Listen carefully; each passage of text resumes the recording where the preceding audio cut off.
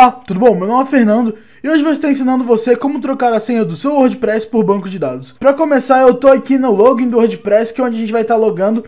Porém, eu, digamos que eu esqueci a senha e eu preciso estar alterando ela. Então eu vou entrar no dashboard da minha hospedagem, vou entrar na minha hospedagem.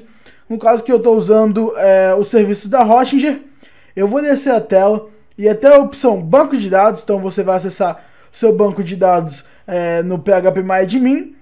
Então, entrei no meu banco de dados. E no banco de dados nós temos diversas tabelas que o WordPress ele acaba utilizando para poder funcionar perfeitamente.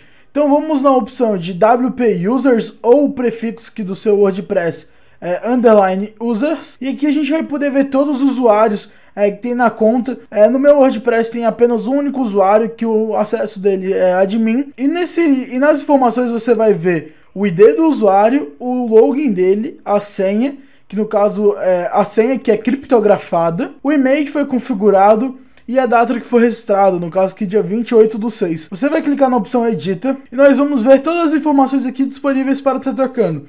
Como nós vamos trocar a senha, nós vamos em User Pass e aqui vai ter a senha criptografada, porém a gente não tem como criptografar a senha, então a gente vai apagar tudo, seleciona tudo e apaga. Eu vou estar escrevendo a minha senha, vou botar senha teste 123 Porém, como você viu, a senha também estava criptografada, então nós temos que criptografar a senha. Então aqui na opção funções nós vamos selecionar, vir até na opção MD5, clicar aqui e clicar em executar. Depois disso feito, você pode ver que a senha aqui já a criptografia mudou.